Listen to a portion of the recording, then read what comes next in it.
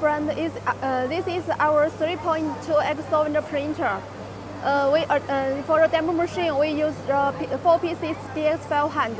You can see it's high speed. You can see the printing uh, printed samples. It has high speed and the high resolution and the sharp color. You also can print three, uh, three rulers at the same time. If you have a large production, the printer also a good choice.